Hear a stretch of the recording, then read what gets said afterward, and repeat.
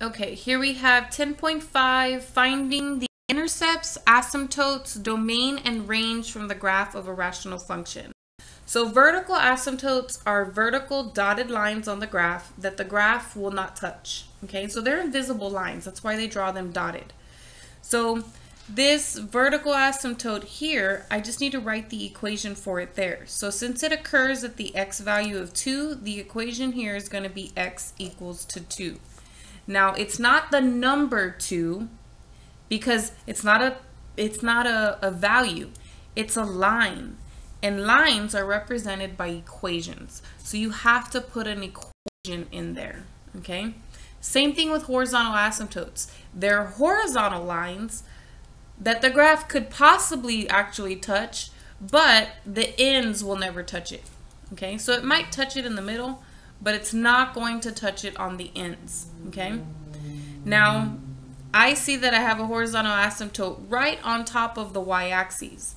What is the equate? I'm sorry, right on top of the x-axis. The equation of the x-axis is actually y equal to zero because the y value is always zero no matter what the x value is on that line. Okay. Now the domain is the set of values from left to right. So it does go to the left forever, so negative infinity. And it does go to the right, but then it never touches the x value 2. So it'll go up to 2, but it won't touch it. So use a parentheses. Then on the other side of 2, it'll get really close but then it goes to the right forever, which means positive infinity. Now the range, it doesn't start until it gets above the horizontal asymptote. The horizontal asymptote is at zero, then it goes up forever. So it goes to infinity.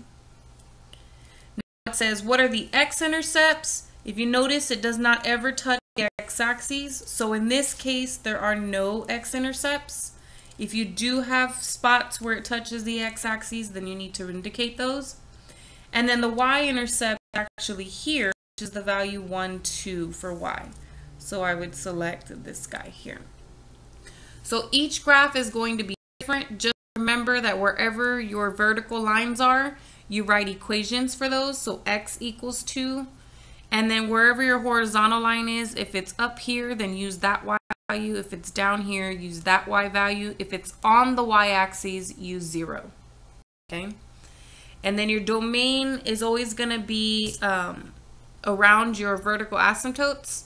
So it should be negative infinity to infinity, but it is going to have a break wherever your vertical asymptotes are. If you have multiple vertical asymptotes, then you're going to have multiple breaks. Okay?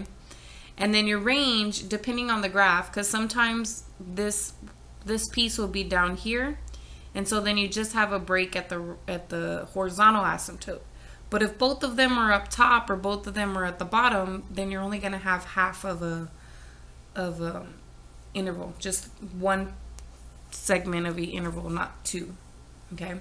So each problem is going to be different and you have to answer them accordingly